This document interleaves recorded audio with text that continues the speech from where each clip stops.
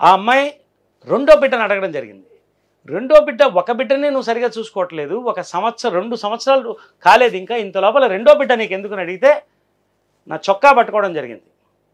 నన్ను physical abuse చేయడం జరిగింది. ఇవన్నీ ఎందుకు చెప్తున్నానంటే ఏదో ఫేస్బుక్లో అలా వచ్చింది ఇది ఇలా వచ్చింది మాట్లాడడం కాదు. ఇది ఫ్యాక్ట్స్. తర్వాత ఒక ఒకప్పుడు వాళ్ళ ఫ్రెండ్ రివీల్ చేసింది నాకేంటంటే రెండు విషయాలు. ఫ్రెండ్ పేరు నేను ఇప్పుడు చెప్పదలుచుకోలేదు. అవసరమైతే వాళ్ళని కూడా తీసుకొస్తాను నేను. వాళ్ళ ఓన్ ఫ్రెండ్స్ నన్ను నన్ను మా మీద జాలిపడి చాలాసార్లు భోజనం లేకుండా పడుకున్నాను నేను. రాత్రి లేటుగా వచ్చి నాకు భోజనం ఎక్కడుందంటే ఏ జమానాలో ఉన్నావు నీకు? పెళ్ళం వడ్డించాలనేటువంటి ఆలోచన అంటే ఫస్ట్ కూడా పడుకున్న రోజులు కొన్ని ఉన్నాయి. వాళ్ళ ఫ్రెండు తర్వాత ఒక పాయింట్ వచ్చి ఇదంతా డిస్టర్బెన్స్ బాగా అవుతున్నప్పుడు రెండు పాయింట్లు చెప్పింది అమ్మాయి. ఒకటి రెండో బిడ్డకి కారణం ఏంటంటే నాకు ఆల్రెడీ ఇద్దరు కొడుకులు ఉన్నారు.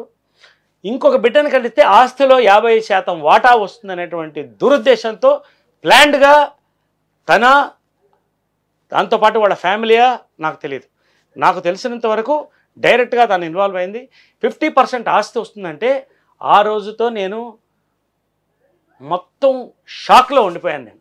రెండో పాయింట్ ఆ అమ్మాయి చెప్పిందంటే ఎందుకు బెంగళూరుకి వెళుతుంది అనుకుంటున్నావు నా ఫిజికల్ నీడ్స్ నాకు కావాలి.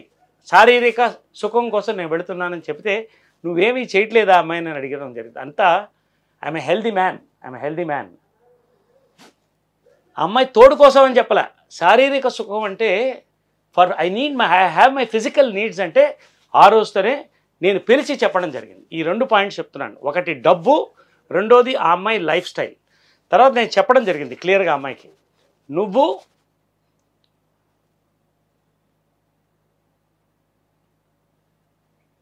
ఒకటి నా నీ లైఫ్ నీది ఉంది నాకు తెలుసు. సరే నీ లైఫ్ నీకుని నా లైఫ్ నాకు వదిలేసాయి. నా లైఫ్ నాది నీ లైఫ్ నీది.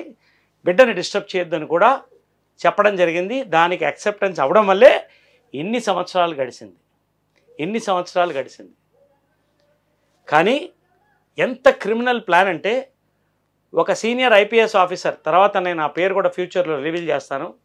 నాతో నాతో ఉంటూ అతనితో కాంప్రమైజ్ అయింది అమ్మాయి. స్పై మాల్వేర్ పెట్టి నన్ను స్పై చేసి బ్లాక్మెయిల్ మెటీరియల్ తయారు చేస్తోంది. ఎవరు వాళ్ళు విడిపోయావు నా లైఫ్ నాకుంది. అమ్మాయి లైఫ్ నేనేమి మా స్పై మాల్వేర్ వాడలేదే? వెనకాల డిటెక్టివ్ని పెట్టలేదే? ఎవరి లైఫ్ వాళ్ళది నీ ఆడియోలు ఉన్నాయి నీది ఉన్నాయంటే అవును నా ఇష్టం. నువ్వు నాతో విడిపోయి ఉన్నప్పుడు నీ లైఫ్ నీదన్నప్పుడు నాకేంటి భయం? నువ్వు ఆడియోలు అంటే వీడియో అంటే నువ్వు ఏమన్నా చేసుకో. నువ్వు ఏమన్నా చేసుకో. నా లైఫ్ నాది నీదని చెప్పేశాం డబ్బులు మెయిన్ అప్పుడు కూడా వాళ్ళ ఎన్జిఓలో డబ్బులు పెట్టమని వాళ్ళ కంపెనీలో డబ్బులు పెట్టమని ప్రాణ ప్రాణం తీసి వాళ్ళ బంధువులే చెప్పారు ఈ అమ్మాయి చేతికి డబ్బులు మాత్రం అందించొద్దు. రూపాయి అందిస్తే మళ్ళీ రాదు. కొడుకున్నాడు ఏదైనా వాడికి జాగ్రత్తగా చేసి పెట్టిన వాళ్ళ బంధువులే నాకు చెప్పడం జరిగింది. ఇది ఫ్యాక్ట్ ఫ్యాక్టే నేను అన్ని ప్రూఫ్స్తో ఇప్పుడు అన్ని పేపర్స్తో నేను మాట్లాడతాను. అక్కడి నుంచి మాకు మాకు సంబంధం లేదు. నా లైఫ్ నాది. నేను ఏమన్నా చేసుకోవచ్చు. ఎవ్రీ అడల్ట్ సుప్రీంకోర్టు ఏం చెప్పింది? ఇద్దరు పడినప్పుడు టూ ఇయర్స్ విడిపోయి ఉంటే డివోర్స్ అనేది ఇట్ ఈజ్ ఆటోమేటిక్ అని చెప్పడం జరిగింది. నేను శారీరక సుఖం కోసం పోలే నాకు ఒక తోడు కావాలి. నాకు ఒక లైఫ్ కావాలి. ఒక ఒంటరితనం ఒక డిప్రెషన్లోకి పెడుతున్నా. నా మీద పెద్ద రెస్పాన్సిబిలిటీస్ ఉన్నాయి. ఇంతమంది ఫ్యామిలీ ఉన్నారు. ఆ టైంలో మా అమ్మ చనిపోయింది.